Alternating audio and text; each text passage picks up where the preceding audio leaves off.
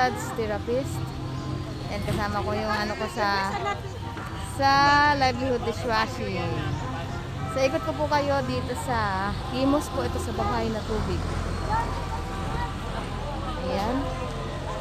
Ang ganda po ng lugar. Ayan. Okay. So, ang ganda. Sarap mamuhay dito. So, nakakawala siya ng pagod mga ka-frexy. May malaking statwa mga ka-frexy. Ayun. Si Mama Mary. Si Mama Mary po yan. Ito po, ayun. Ito, meron din po ano. Dito po ito sa buhay na tubig mga ka-frexy. Buhay na tubig, Imos City. Imos, Cavite.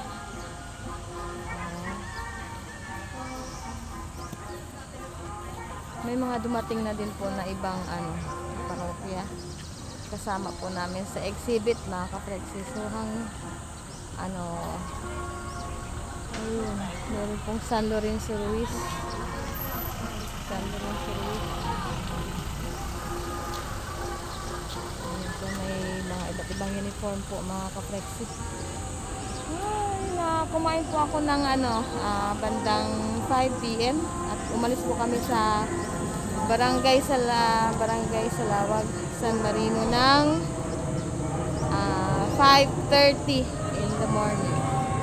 So, ayan po yung lugar dito mga ka-Flexi. Sana po ay nagustuhan ninyo. Ayan. May malagasang. So, ayun po doon. Napakalawak po mga ka-Flexi.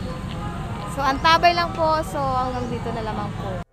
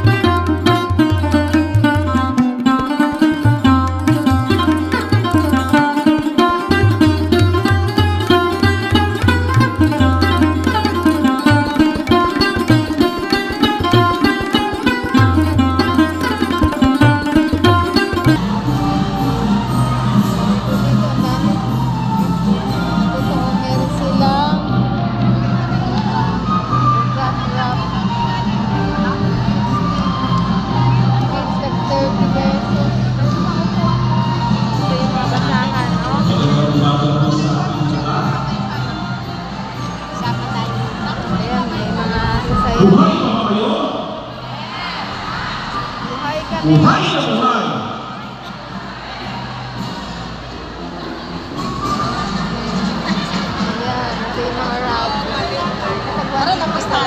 Magandang umaga po sa ating lahat. Welcome, Ate Gigi. Yan po, dumating na po ang tansa.